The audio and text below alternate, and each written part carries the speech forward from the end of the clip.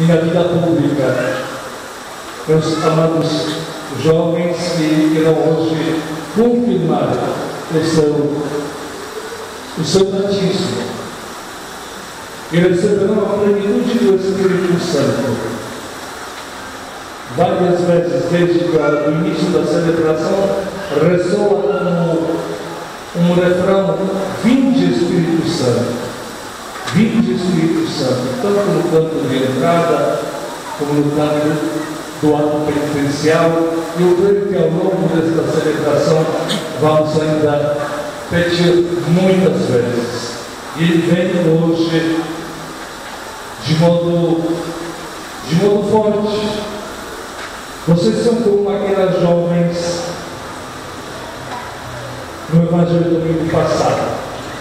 Devem ser jovens os jovens prudentes, que junto com lámparas levam também o azeite, porque a nossa fé ela deve iluminar a tua vida e a vida daqueles que vivem ao teu lado. Esta fé deve te, deve te conduzir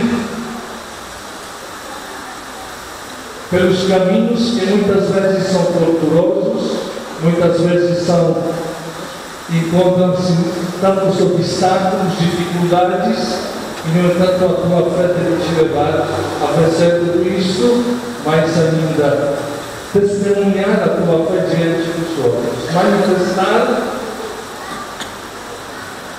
manifestar a tua fé no mundo que hoje se encontra numa crise muito profunda. Porque nós vivemos numa época onde podemos dizer uma crise de convicções, dificuldades para assumir os nossos compromissos, tudo até no namoro, na vida conjugal, na vida de uma família. Eu diria também sobre nós padres religiosos, cada vez mais é difícil hoje viver o seu compromisso com Deus.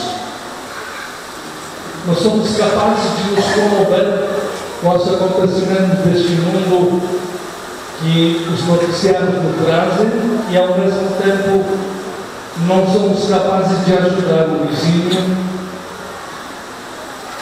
não somos capazes de ajudar uma colega de trabalho ou necessidade na rua. Isso são sintomas de